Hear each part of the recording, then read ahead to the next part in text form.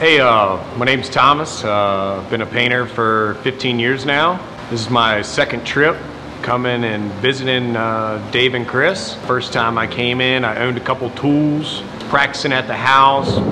Really didn't know exactly what I was doing. So first time I came here, they kind of guided me, showed me the bad habits I had picked up, corrected those. And I took that home and practiced for a couple months. Came back, for a little more advanced training. My second trip out, um, I learned how to road map larger damage. Got to play with some cold glue, hot glue, uh, practice uh, finishing stuff that I couldn't quite finish before.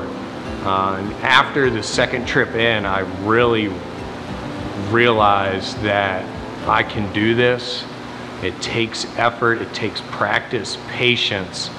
Um, and I'm really proud with the results that came out of this. I'm really looking forward to coming back and helping these guys uh, take me to the next level. So with my second trip out, I would really recommend these guys again. I would come back um, as many times as it takes for me to master this art.